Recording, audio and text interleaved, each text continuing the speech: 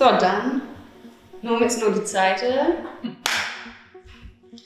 Wer seid ihr und woher kennt ihr euch? Ich bin Hanife, komme aus Hamburg, bin äh, Sängerin und darüber kenne ich auch Yannick. Und zwar ist der mit uns immer mit auf Tournee und schießt Fotos und macht Videos und alles, was eine Linse hat, ist seine Aufgabe. Und was denkt ihr, wie gut kennt ihr euch ähm, auf einer Skala von 1 bis 10? Ich würde sagen zwischen 6 und 8. Also, können Also wir uns, sieben. Ja, können wir uns auf die 7 neigen. Wieso seid ihr heute hier? Weil du uns netterweise eingeladen hast, um äh, über sexuelle Gewalt und sexuelle Übergriffe zu sprechen.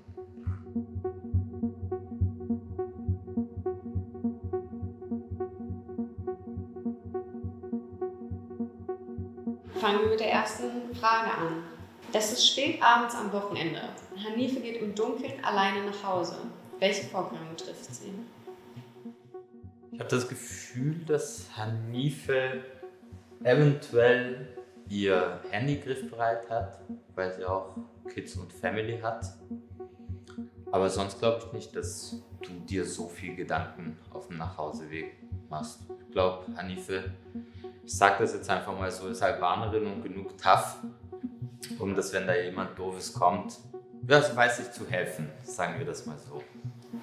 Tatsächlich habe ich mein Handy griffbereit äh, und ich fake telefoniere. Also ich tue so, als wäre da jemand am Telefon.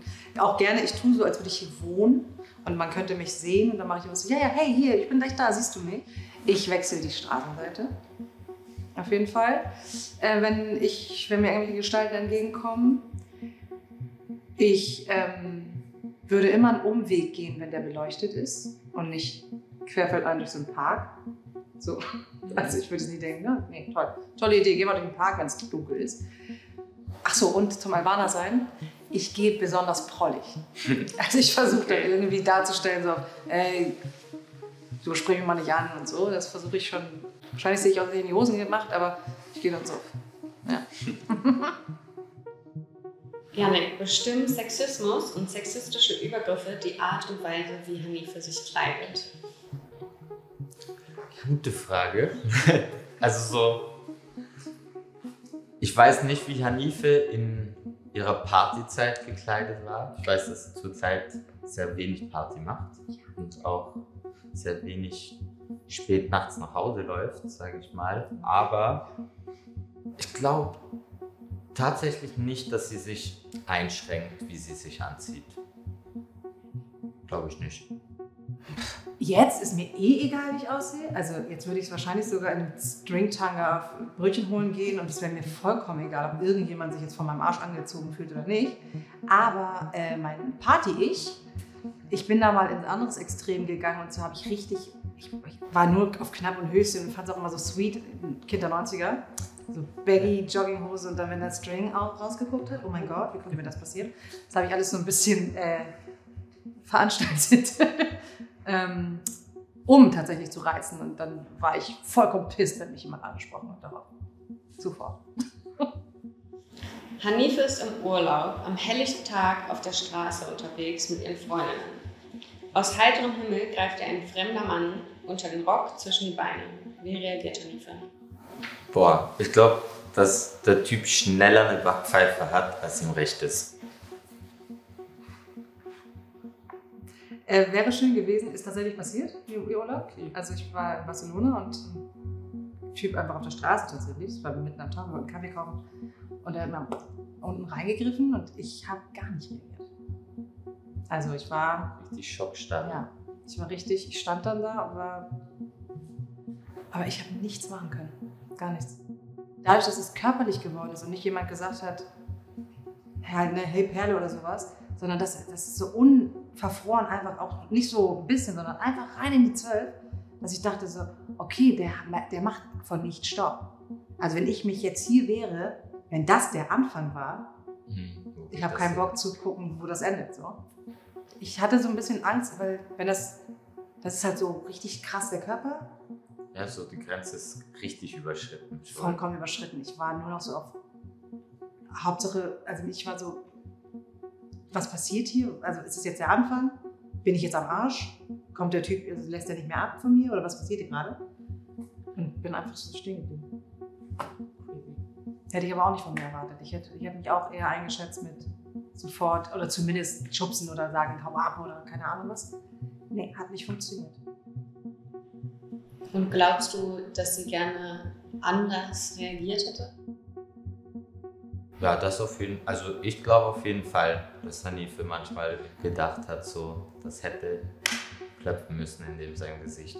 Ja, das stimmt. Das hätte ich wirklich gerne gemacht. Also das hängt mir schon nach, dass ich da irgendwie so. Ich meine, es ist verständlich, so mein jetziges Ich weiß, das ist zwar zu viel, deswegen konnte ich nicht reagieren, aber ich bin lange damit schwanger gegangen, dass ich dachte, oh, ey, wie kann man denn gar nicht reagieren? Auf der anderen Seite kann das natürlich auch sein, dass so ein Dude genau deine Reaktion eigentlich möchte. Ne? Ab dem Moment, wo du, ich sag mal, auf ihn dann zugehst oder ihm eine Backpfeife oder so gibst, hat er ja eigentlich mehr Kontakt zu dir Ja. aufgebaut, als wenn da gar nichts passiert.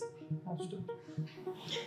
Janik, du hast jetzt die Möglichkeit, alle Fragen, die du bezüglich sexueller Belästigung oder sexueller Gewalt hast, Hanife zu stellen.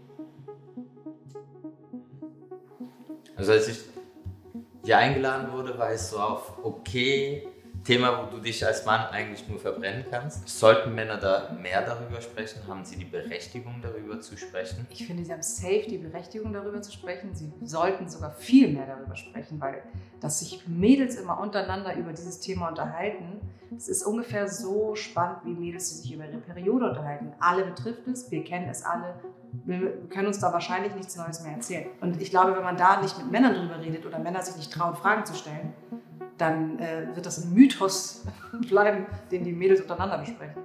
Und das ist irgendwie, ich finde es viel geiler, mit Jungs darüber zu reden als mit Mädels. Und auch zu wissen, oh, vielleicht könnte man ihn sensibilisieren, was schon bei einer Frau einen Angstzustand auslöst. Was könnte ein Mann machen, dass sich eine Frau wohler fühlt? Also wenn du mit dem Hoodie nachts irgendwie eine Straße, da ist eine Frau, wäre voll cool, wenn du den Hoodie runter machst, dass sie dein Gesicht sehen kann, dass sie sieht, da kommt eine freundliche Person auf einen zu, anstatt so, so zu bleiben. Ja. Weil wahrscheinlich sie wie die Straßenseite wechseln möchte. Also ja, berechtigt. Ja, hast, hast du da noch andere? Also ich sage jetzt mal, ich glaube für die Männerwelt ist das trotzdem ein spannendes Thema. So mit dem Hoodie zum Beispiel Mhm. kann ich verstehen. So wenn ich in den Laden reinlaufe, mache ich auch die Kapuze runter. Also wenn du abends nach Hause gehst und da läuft eine Frau vor dir, ihr nicht zu dicht aufzulaufen, auch wenn du es eilig hast oder so. Und also Also lieber selber die Straßenseite wechseln Ja. und dann überholen, anstelle Genau. von schnell nachlaufen. Weil das ist ein Gefühl, was ich so krass kenne, ist dieses, ich höre Schritte hinter mir und automatisch macht es tak, tak, tak, tak, tak, tak, tak. Und ich bin so, okay, ich kann jetzt nicht nach hinten gucken, weil dann sieht er, dass ich gemerkt habe, dass ich verfolgt werde. So, man wird so paranoid. Und dann war ich immer so, oh, mein Schuhband. Und hab so, bin so abgetaucht und habe dann Ist gehofft, dass er mir ja. vorbeigeht. Ähm, ja, sowas glaube ich einfach. Was habt ihr beide denn heute übereinander gelernt? Ähm, ich habe über Janife gelernt, dass sie nicht zugeschlagen hat, was ich aber auch verstehen kann. Allerdings glaube ich trotzdem, dass wir auf dieser Welt noch echt, echt viel zu tun haben, was dieses Thema anbelangt. Voll. Also ich weiß, dass Yannick einer der empathischsten Kerle ist, den, den ich, vor allem was Frauen angeht. Also trotzdem, ich meine, woher sollst du wissen, dass ein Hoodie bei einer Frau nachts schon Stress auslösen könnte?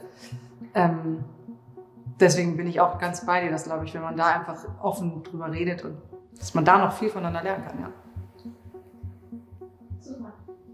Dann sind wir durch Ich, sehr gerne, ich danke dir.